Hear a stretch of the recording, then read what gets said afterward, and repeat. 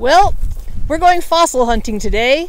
We are out here in the whoa, wide, wide open spaces uh, near Ingomar, Montana, which is a ghost town, uh, almost a ghost town.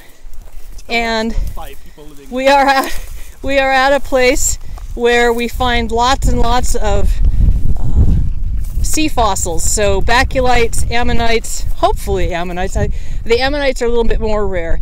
Anyway, we're going to be looking in the hills and valleys and seeing what we can find. Hopefully, we will avoid the hunters who are out here. I didn't realize that it was hunting season yet, but uh, we've seen a couple trucks, so apparently that's what's going on. Um, so let's take a look.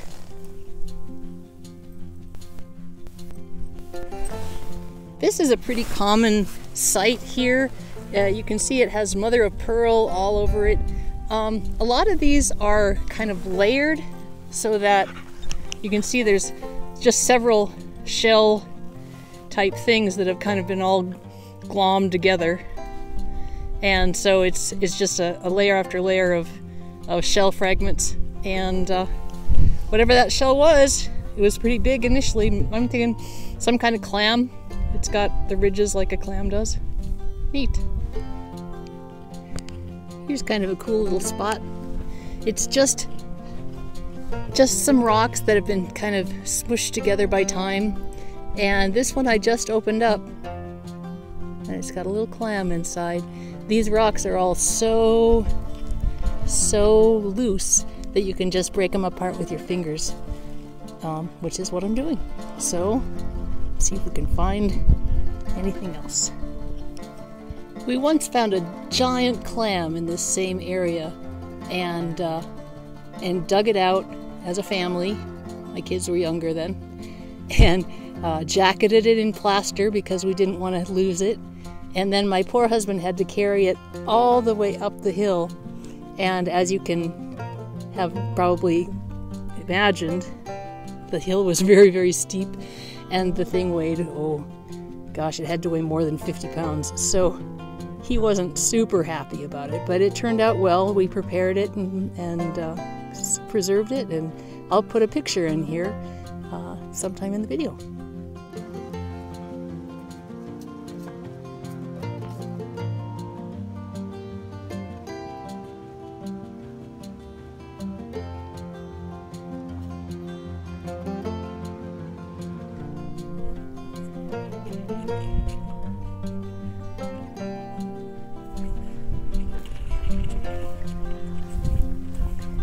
Down is fine as long as you keep on going.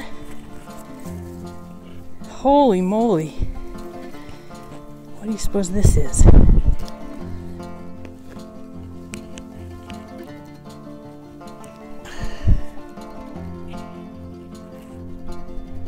Some kind of clam, I'm betting. But it's embedded. It's embedded in this rock. So it's probably fairly complete. Whoa. So I mentioned there were baculites. This this place is really kind of littered with them.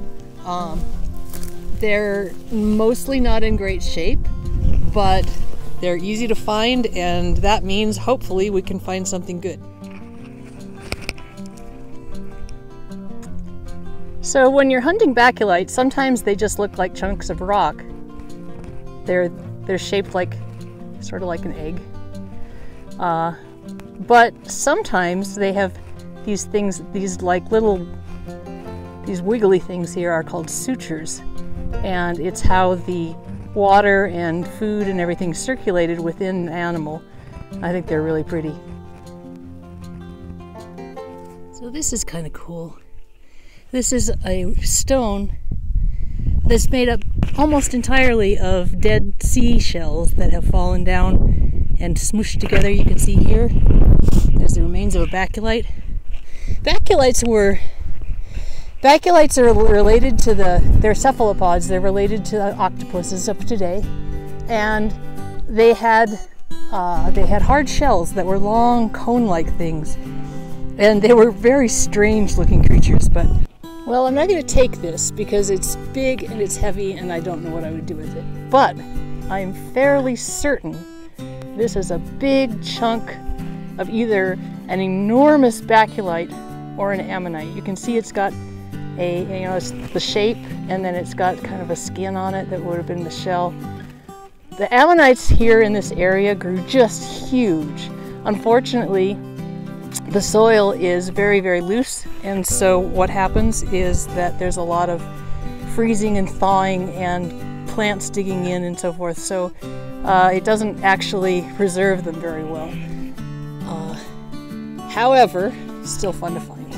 I found here a rather large chunk of ammonite, and then I found another one, and then I found another one. So what I'm doing right now is just trying to find more chunks of this because if I can build a more or less complete or even a partial large ammonite, I would be so excited. Now the bad part is this is just a tiny chunk of the larger piece and I have three of these already and they weigh, it probably weighs 15 pounds maybe. So if I find many more, I'm going to have to make multiple trips up to the car, and that's going to be, that's, it's, well, you saw how steep it is, so that's going to be interesting. Anyway, we're just looking to see if we can find any more pieces of this thing. Mostly it's downhill.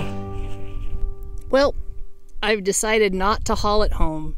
It's really cool and it's big but it'll just end up collecting probably not even dust because it would just be sitting outside.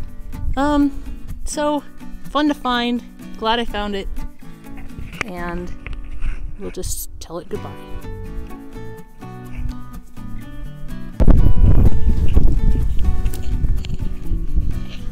Headed back up to the car. As you can see, Maybe you can't. It's quite steep. I'd say more than 45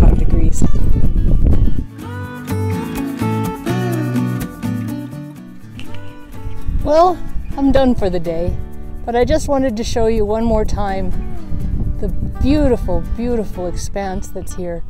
The land just goes on, it seems like forever. You can really imagine yourself at the edge of Great Sea.